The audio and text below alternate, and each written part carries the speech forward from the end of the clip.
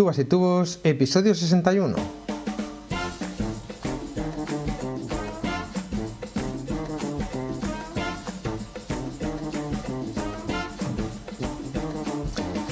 Buenos días a todos, bienvenidos a Tubas y Tubos, el programa, el podcast en el que hablamos de todo lo que rodea la enseñanza e interpretación de la tuba, el bombardino y el resto de instrumentos de viento metal.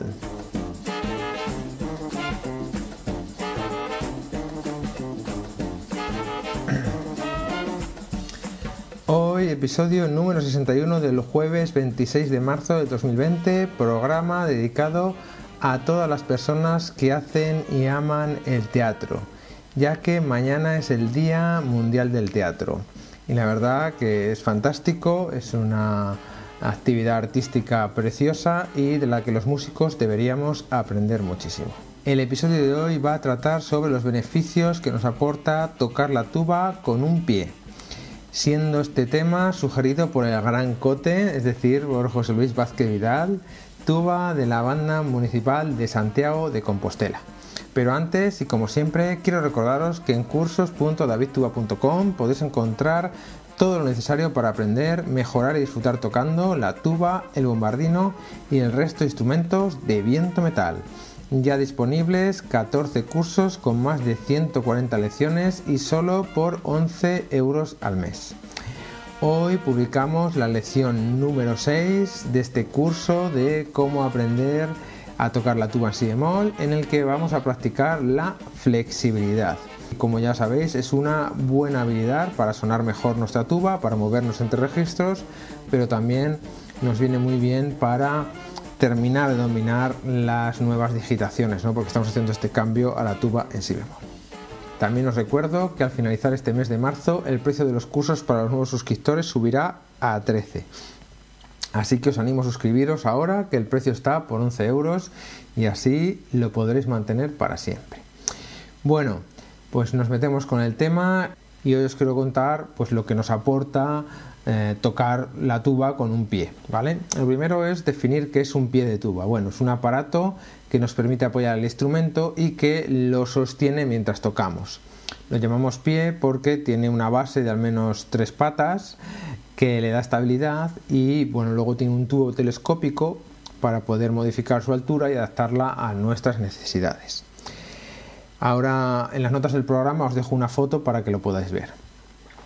Luego, existen varios tipos de soportes o pie para tuba, dependiendo un poco del uso que necesitemos darle.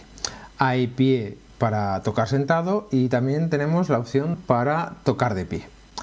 Eh, lo más normal es que busquemos un pie para estar sentados, ¿vale? Esto lo solemos utilizar durante las largas horas de estudio tubero y la verdad es que es de gran alivio para el cuerpo porque al posar la tuba sobre nuestro cuerpo de alguna manera debemos estar pendientes ¿no? y sujetándolo.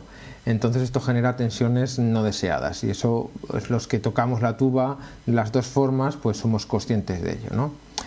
Y esta es una de las razones por las que yo utilizo un pie, sobre todo con mi tubando, que pesa un quintal, la Hesbrunner eh, 290, 4 cuartos, pero no sé de qué la hicieron, pero pesa una barbaridad para un tamaño tan bueno, compacto. Y también el pie es muy útil para algunos alumnos de tuba que al principio, sobre todo, cuando están empezando a tocar el instrumento y son, son jóvenes, eh, por el tamaño del instrumento, pues no pueden sostener su peso de forma fácil pero que al apoyarlo tocan sin ningún problema.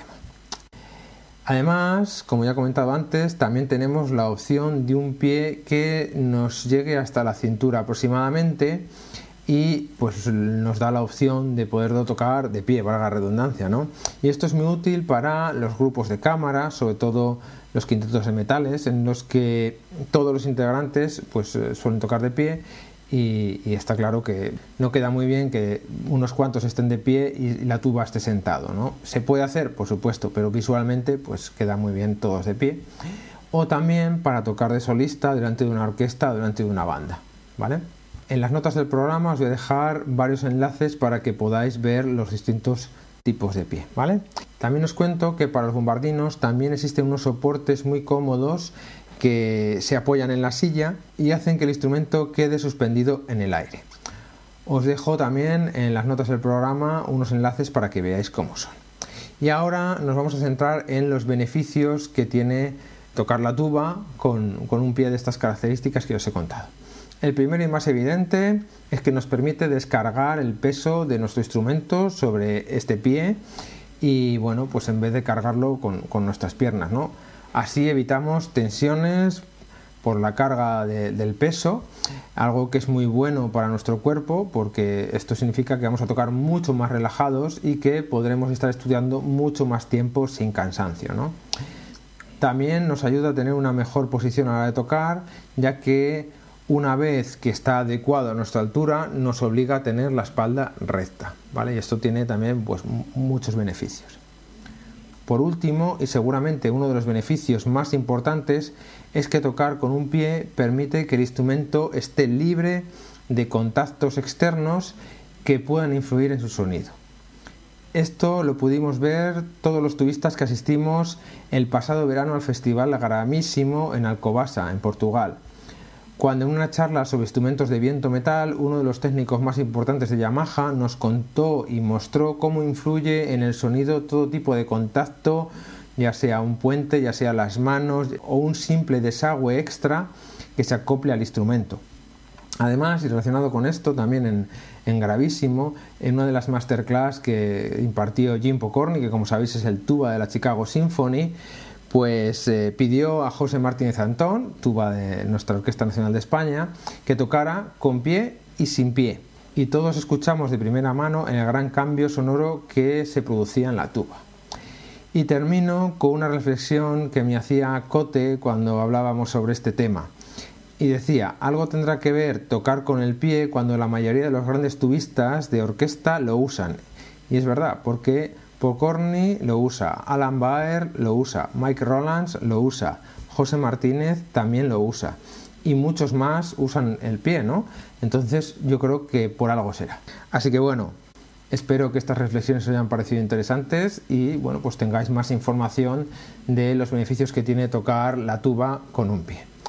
Y pasamos a las novedades de la semana que, bueno, pues lamentablemente seguimos en la misma situación con esta crisis del coronavirus, así que todo se ha cancelado, por lo que no tengo nada que contaros, una pena.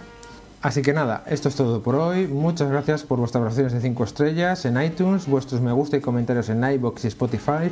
Gracias por suscribiros a los cursos para hacer este podcast sostenible y en resumen, muchas gracias por todo vuestro apoyo, ya que sin él esto no sería posible.